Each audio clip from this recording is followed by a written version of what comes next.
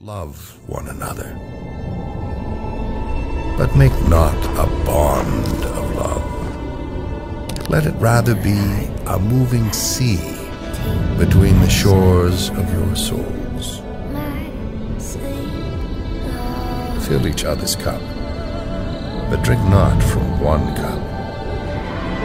Sing and dance together and be joyous. But let each one of you be alone.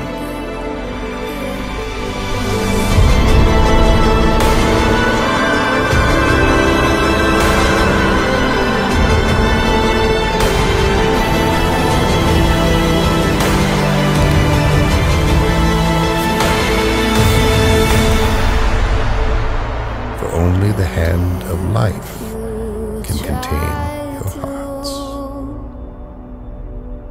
Take advantage of.